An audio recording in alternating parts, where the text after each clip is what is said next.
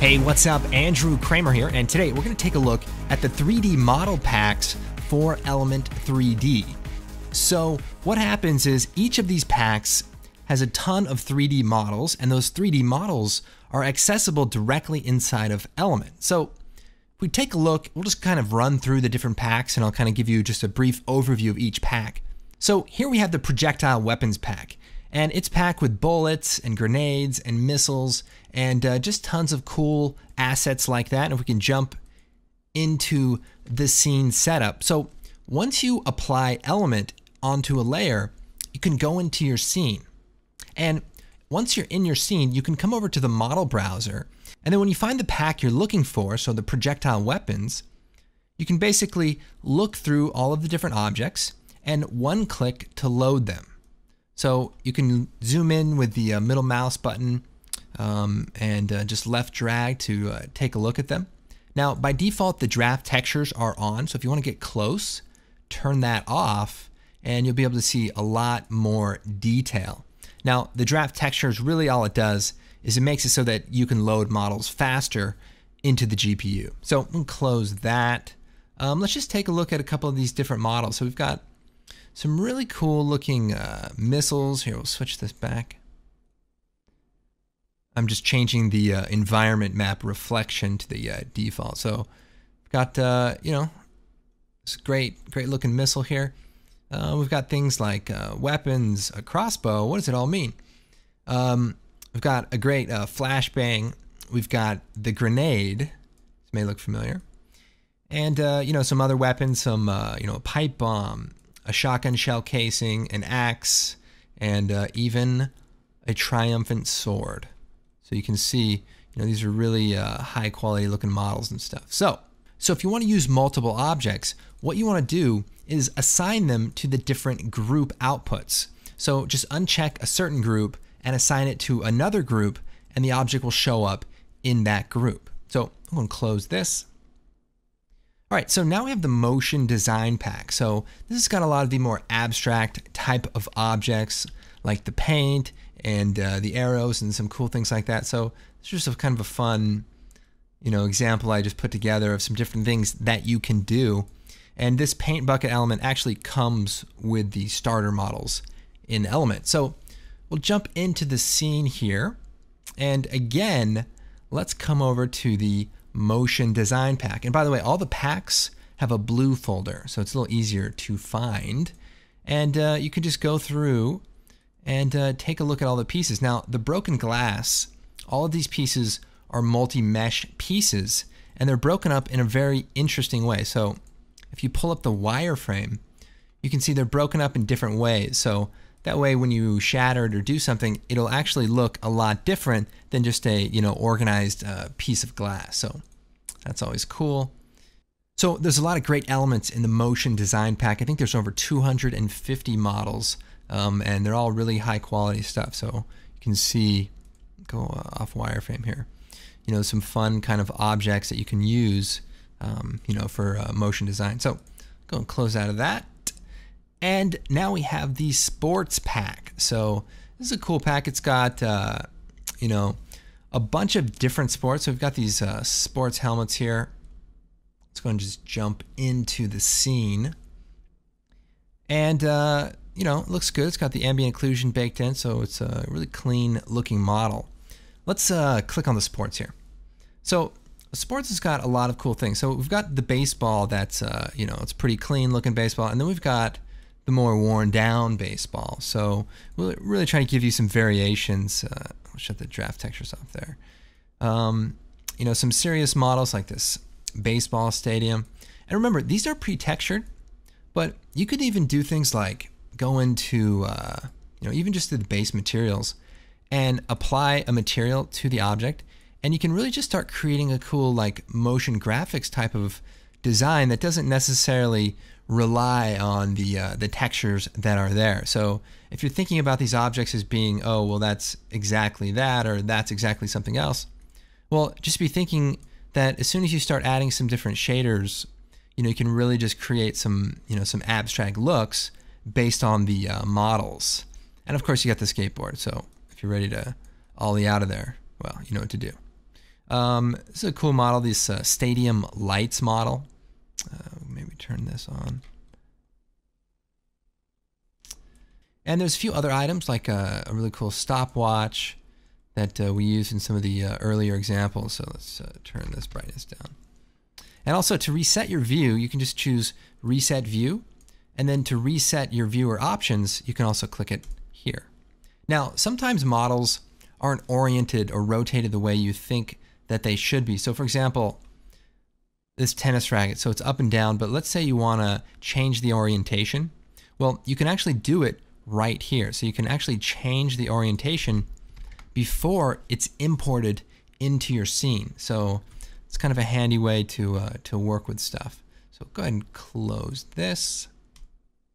Let's take a look at the fresh fruit. So this is a really fun collection because, uh, you know, it's uh, delicious.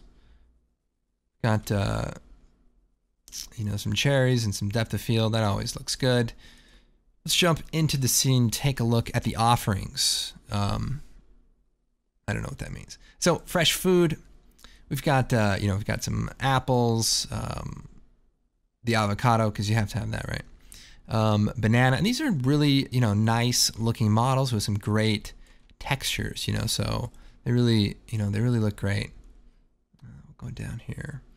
There's some different variations of, uh, of the models and things like that, like bread and, you know, you've got the cherry and you've got the dual cherry. And then we've got some kiwi and, you know, these lime, uh, you know, they really look cool. They have nice, uh, you know, reflectivity on them. Uh, the orange slice. So you can make like, you know, that energy drink commercial where all the fruit's flying out and, uh, you know, it's cramming into a bottle and somehow you're going to take a drink and all that fruit is going to go into your body. So bam, that's how that rolls. So next up we have the money and casino pack. So this is a pretty cool pack and there's a lot to this pack even though it may not seem that way. So you can see here there's like $50 bills, $20 bills and $100 bills and they're all kind of mixed up and they're look it looks like they're kind of floating around. One of the ways you can animate this is if you go into the particle replicator you can go to the position noise and we can turn up the amount here. And then we can animate the evolution. So if we were just to animate this value, you can see that everything just kind of wobbles around. So let's just do a quick expression. We'll do like time times uh, 50. So everything's moving around, but it's not rotating around. So then we can go into the particle look and control the rotation. So we can go into the rotation noise, turn the amount up, and you don't actually have to, let's see, you don't have to animate the evolution if there's position noise on. You just have to try to find the, uh, the right balance. So right here, kind of turn the noise scale down a little bit and uh, you know everything kind of flutters around. So if I lower this number, so let's say we turn the value up, but lower the noise scale. What that will do is uh, make the rotation a lot slower. So we could turn this up even more. So you could animate this and you could really create some cool some cool looks. And not to mention, the entire replicator could be animated, you know, simultaneously. So you could be, you know, rotating it around while everything's sort of fluttering, uh, you do need to be careful. Make sure the noise value is not too high so uh, the pieces don't uh, you know jitter around too much. Maybe some motion blur. I'd buy that for a dollar. Now let's go and jump inside and take a look at some of the different models. So if we go down to the money and casino, there's a ton of different models in here. And there's different things, you know, there's variations of different things, but let me show you uh, the money here. So you can see there's, uh, you know, A through F dollar bills. Now, the key here is that they're all slightly different in terms of their distortion. So if you use multiple pieces, it won't look like they're all exactly the same. Now, here's something really cool about it. So if we look at it, there's actually multiple materials on this single object. So if we hide one, unhide another, then we can actually see we have all of the different denominations. So if you need to do, you know, a commercial for, you know, Subway and it's $5 footlongs or whatever, um, there you go. Uh, you, you have all the different denominations that you can kind of mix and match. Um, you know, we've got this cool roulette table here. So to celebrate, let's go and uh, pop the cork and uh, cheers. Um, okay, cool. So let's go into the music collection. So let me just uh, speak into the mic here. Um, this is obviously a great collection because there's just a ton of, you know, very realistic objects. Uh, we go down here to the sound and music collection. We've got a great acoustic guitar. You know, there's tons of, uh, of detail on these models, and uh, you know they look great. And finally, I know you guys have been looking for this, a boombox. Look at this thing, the detail in this. It's amazing. Why would anyone ever buy this model? You wouldn't, unless you were buying a pack with a whole bunch of other stuff that you actually did want. And then you got the bonus boombox model that you always wanted, but you never wanted to buy because people would make fun of you. So it all works out. It all works out. Uh, we've got some, you know, some useful stuff, some cassette tapes. We've got some uh, big concert speakers, and you could probably create this huge array of like a hundred speakers that you know look really insanely loud. Um, you know, that's uh, obviously what anyone would want to do.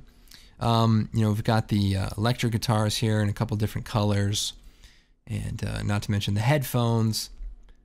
You know, very detailed keyboard model that uh, you know is kind of unbelievably detailed.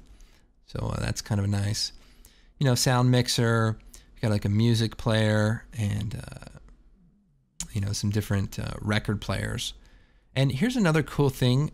If you're familiar with the multi-object stuff, is that the record is actually a multi-material object, so we can hide it, and then you could load this record into another channel you know, like group two, and then you could animate them together. So you could animate the record spinning and you know things like that. Uh, kind of a kind of a handy thing. And then for everyone who plays guitar, hopefully you know what this thing is. This is called a tuner. Um, all right, and of course we've got the concert uh, grand piano, which uh, is uh, kind of unbelievably detailed. We can go inside of here and uh, yeah, pretty decent. Um, okay, so this is the sound and music pack. We'll close out of that. All right, guys, I hope this uh, helps you kind of understand uh, the various packs and uh, what's included. My name is Andrew Kramer. Thanks for watching, and we will see you next time.